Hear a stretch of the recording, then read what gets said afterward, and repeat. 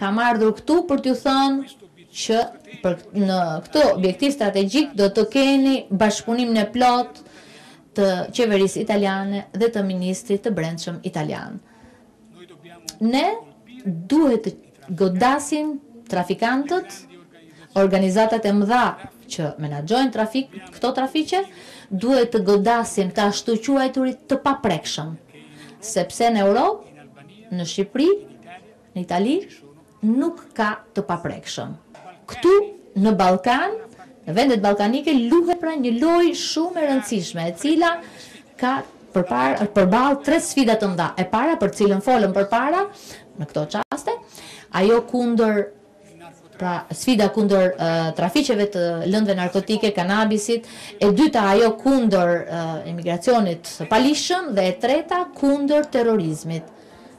Në dy mijë e gjashtëmbëdhjetën jo shumë larg, u konstatua një rritje e ndjeshme e sipërfaqeve të kultivimit të kanabisit në pjesë të ndryshme të territorit.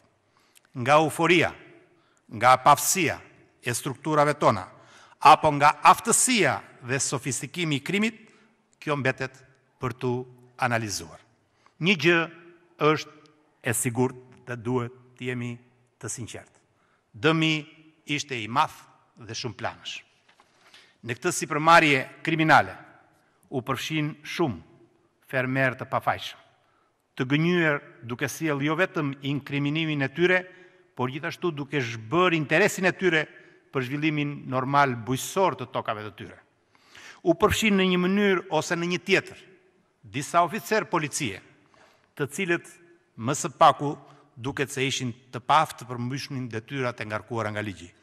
Shumë punonjës të tjerë policie heshtën ndaj këtij fenomeni në shkëmbim të shpërblimit apo edhe prej frikës. Por gjithsesi, Gjithsesi, është realiste dhe e drejtë të evidentohet fakti se në më pak se një vit më parë nga sot, Qeveria reagoi ndaj këtij fenomeni, duke e njohur realitetin, duke e pranuar atë dhe me vullnet të qartë, me përgjegjshmëri politike, ndërmori një kompleks masash. Zonja dhe zotërinj, faleminderit.